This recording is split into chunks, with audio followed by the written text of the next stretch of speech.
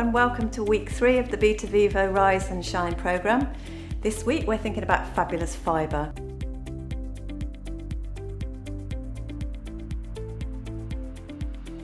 So this is my lovely wholemeal pancake recipe. It's high in fibre.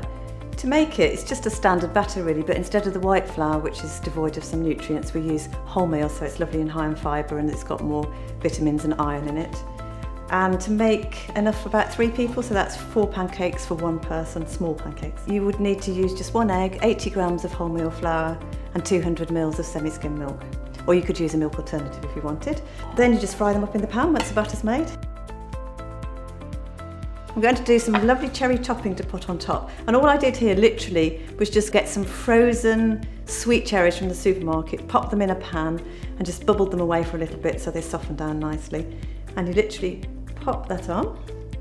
Makes a really delicious sweet topping and there's no sugar added to that at all. And then the crunch comes from the lovely Betavivo. And obviously this adds the cholesterol lowering factor as well.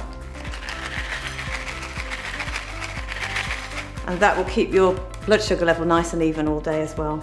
So delicious breakfast for the weekend. Hope you enjoy it.